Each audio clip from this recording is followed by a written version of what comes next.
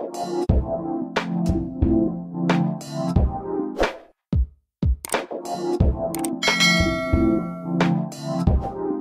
everyone, this is D, Movie Man, fellow cinephile, popcorn addict, and emerging film critic coming to you with reliable recaps, reviews, and reactions. And today I am coming to you all with something a little bit different. So very recently, a YouTube friend of mine, Lost in the Reel, celebrated reaching 2K subscribers. And with that, he's created a competition for fellow YouTubers to participate in. And before I go any further, let me just say if you are not following Lost in the Reel, I don't know why. okay?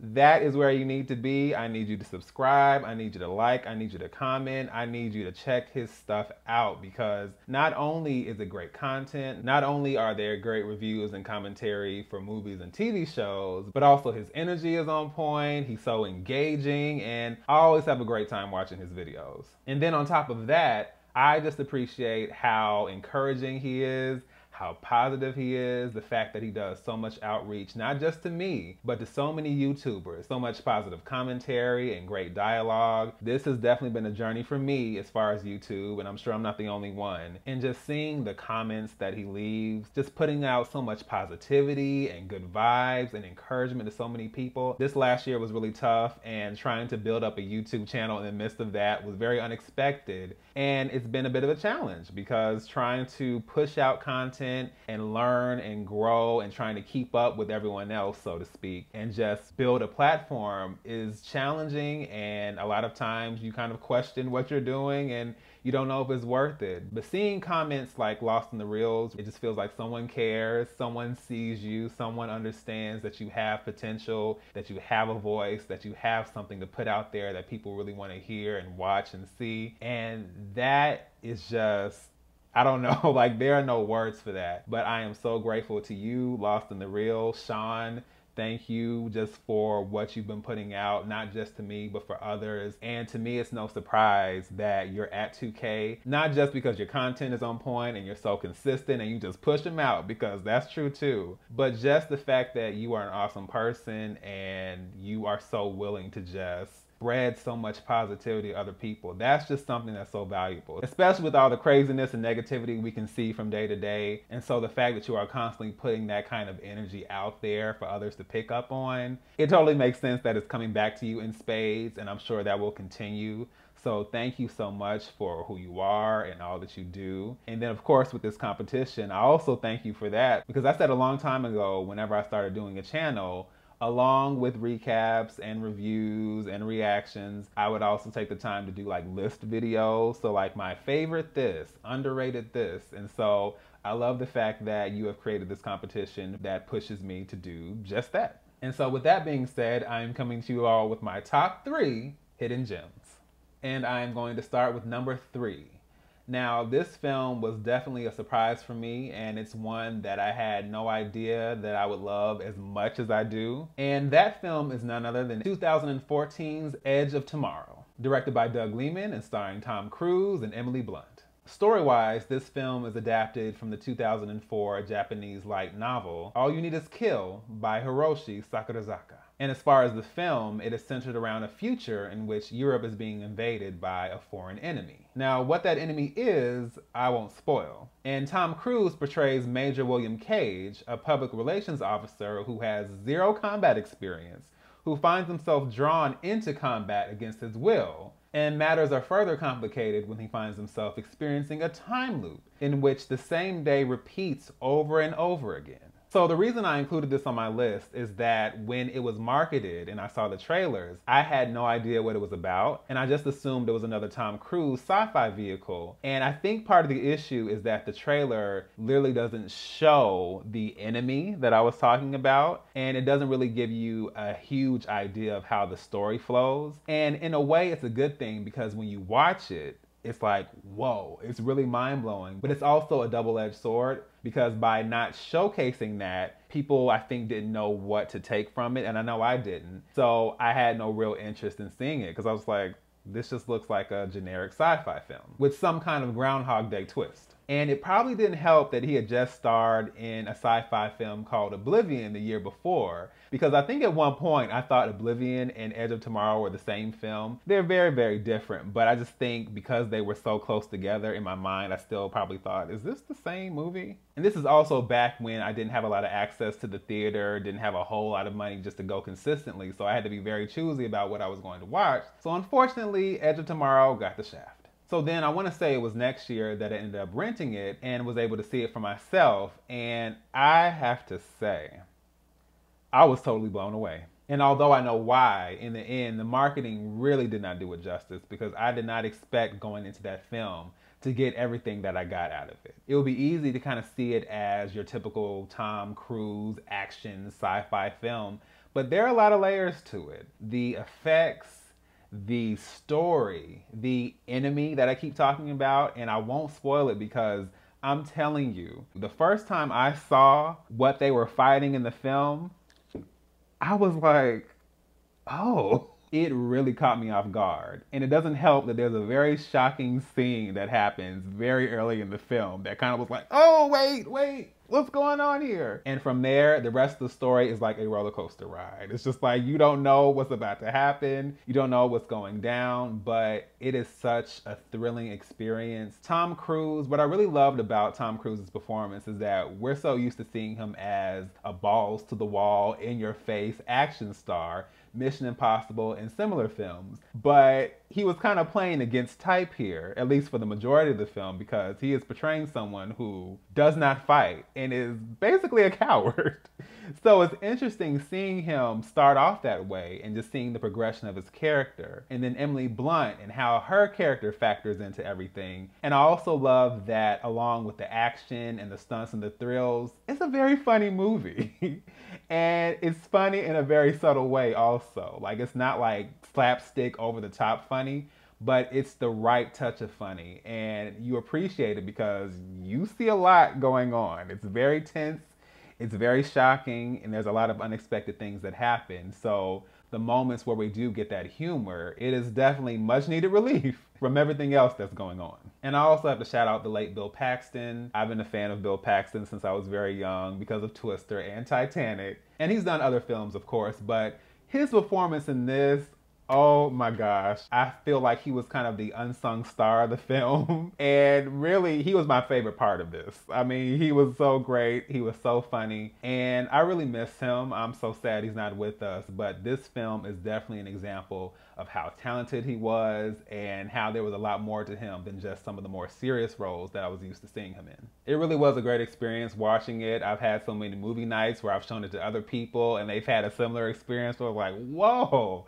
I was not expecting that. And I think so many people don't realize just how good it is. And unfortunately, the marketing didn't give it a chance to really shine and get out to audiences the way it should have. So since we're talking about hidden gems, I absolutely had to include that one. Now I'm to move on to number two, and this film is just another example of why I love foreign films. They just give me everything I need and everything I didn't know I needed. and this film is 2015's The Wave, aka Bølgen, directed by Roar Uthaug and starring Kristoffer Joner and Ane Dahl Torp. And the story is just as straightforward as the title suggests. It is centered around a 260 foot tall tsunami caused by an avalanche that threatens to destroy a nearby village in Norway. I have always been a disaster film fan. One of my favorite disaster films is still Dante's Peak. I remember seeing that when I was, I don't know, seven, six, like, and I was so shook. I was not prepared for any of that. I was so into it, but so traumatized at the same time. I'm just like, wait a minute, could this really happen? So it's just one of those genres that I've always enjoyed. And this film was no different, but I think what I loved about this film, first and foremost, the cinematography. This was filmed in Norway in a village known as Geiranger. And the opening shots and just the shots throughout this film of the mountains, of the town, and the water like, oh. I kid you not, I am such a sucker for good cinematography, and I have said this plenty of times. If I literally want to take a screenshot of what I'm looking at and blow it up and put it on my wall, then you've done a good job. like, I have such an appreciation for good visuals and just the beauty being showcased already drew me in, let alone everything else that came afterwards. I mean, there are already so many places in the world I would love to visit, but Norway absolutely jumped up on that list after I saw this film. And what I really love about this film that even though it is a disaster film, it feels very fresh. It feels very original. It doesn't feel like it's copying other films in the genre. It literally feels so atmospheric and it feels so tense and you really do get invested in the people, especially the main family that the story is centered around. You realize the stakes really are high. And because everything is so well plotted and well paced, when we finally get to that moment where all you know what breaks loose, it's like, and I think what added to it, of course, were the great performances by all the actors. And I think what really made this work for me is that it all felt very realistic. And part of that is because Norway is actually known to be a very rock slide prone area. And this film is partly based on real life incidents that occurred in 1934 and 1905, where there were rock slides that triggered these tsunamis that destroyed towns. And although there has not been another tsunami since 1934, the film is dealing with the reality of, hey, what if this just happened again? And I think incorporating this imagined disaster,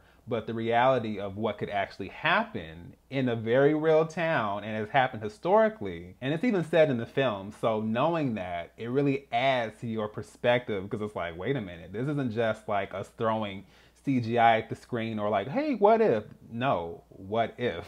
because this has happened and it could happen again.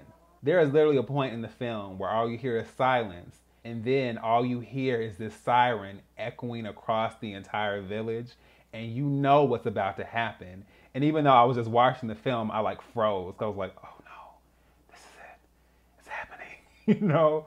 So I got into it. Like it really pulled me in. So if you are a disaster film fan or even a foreign film fan like myself, I would absolutely recommend this. And I realize it is a foreign film and not everyone is into subtitles and things like that, but I think it's definitely worth the watch. And that's why I would say why it's more hidden. It's a great film, but not everyone would know where to find this or they would think, oh, this is foreign, I have to read subtitles. I would say just brush past that and allow yourself to experience this because it was quite the ride for me. So now I'm going to close out with my number one hidden gem that is 2007's The Orphanage, aka El Orfanato, directed by J.A. Bayona and starring Belen Rueda and Fernando Cayo. And here the story is centered around Laura, who returns to the orphanage she was raised in as a child and her plan is to reopen the orphanage as a facility for disabled children. However, those plans are disrupted when a shocking and unexpected tragedy occurs. And in the wake of this tragedy, Laura finds the determination to solve the mystery behind it. But to do that, she'll have to face the dark legacy that is hidden within her childhood home. So back when Blockbuster was still in operation, they had a mailing DVD service similar to Netflix. And I think I must have placed this film on my queue because it was recommended or it came up somehow. I'm still not sure how I found it, but it was on my queue. And I ended up watching this. And it was funny because initially I assumed that it was directed by Guillermo del Toro because not that long ago I had seen Pan's Labyrinth and just the vibe I got from the cover and everything else I just figured, oh, okay, this is another film that he's done. Well, not quite. But Guillermo del Toro actually executive produced the project, and I do remember that on the front of the cover it said Guillermo del Toro presents, so that's why I thought that. I have been a horror fan since I was very, very young, probably too young, but for whatever reason I was into it. And especially horror stories. I've always been into horror storytelling. Films also, but definitely the storytelling aspect of it I have always been into that. I've read so many different horror story anthologies and series and all of that, and it really draws me in. And what I love about The Orphanage is that to me, it feels like a horror story come to life. And I also love that it's not your typical horror story. So we're not just doing cheap jump scares here, but it is extremely atmospheric. It is very eerie. It is very unsettling. And for me, horror is so many things, and I think it's very easy to put horror in a box. And of course, as a genre, I think we see a lot of the same old films. And I'm not knocking the Conjuring universe because I think it's really cool, but those are the kind of films that have kind of dominated. And so we don't get a lot of fresh perspectives or different perspectives when it comes to horror. And to me, The Orphanage shocked me because it was a different perspective of horror and the depths to which the story went, I was not prepared for. There are some really emotional layers here. We're dealing with grief, we're dealing with loss, we are solving this mystery. There is this dark secret at the root of the house, and just uncovering that mystery and just seeing how everything unfolds. you know, and then the performances, especially Belen Rueda, she was so awesome in this. I empathized with her. I felt for her. I understood her journey. I understood the lengths she was willing to go to to solve this mystery. And as we go on, it's just there's a lot with that story, and of course, I'm not going to spoil it. And unfortunately, it's a film that a lot of people don't know about, partly because it's foreign. But whenever I mention it, people are like, Orphan? And usually, what they're referring to is the 2009 horror film starring Isabelle Fuhrman and Vera Farmiga, which is not the same thing. So, unfortunately, it's one of those films you really have to go out and search for. So, for me, it was absolutely a film I had to include as a hidden gem because even the way I found it, it was kind of an accident. And it was a very significant film for me, along with Pan's Labyrinth, because that was my first experience with Spanish language films, which naturally opened the door for me to discover more films like that. So, they also are significant and important in that way, but they also are beautiful films, beautifully made films. And although Pan's Labyrinth is the film that got more of the acclaim and the reception and all of that, whereas The Orphanage didn't quite get that, even though I feel like it deserved it just as much, if not more, as Pan's Labyrinth. They're both great films, but I have to say, The Orphanage really struck a chord with me, and it was such a beautiful film to experience, and another great one to add to my experience with horror films. And it was just another reminder of why I love horror storytelling and the horror genre.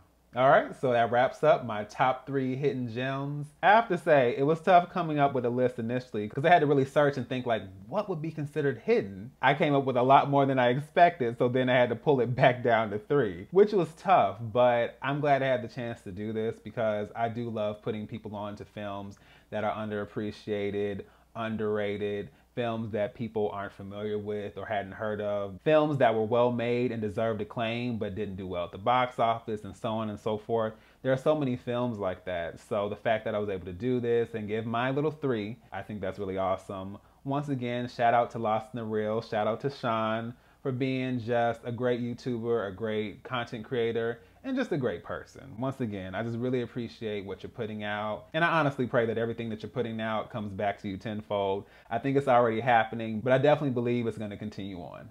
And of course, I have linked his channel down below, so please check him out. Like, comment, just support in general. Please support him the way he supports others because I'm telling you, it is so, so appreciated. And of course, I'm sure you and I will be chatting it up in the comment section very, very soon. So, once again, this is D, Movie Man, signing off, and I'll see you at the movies.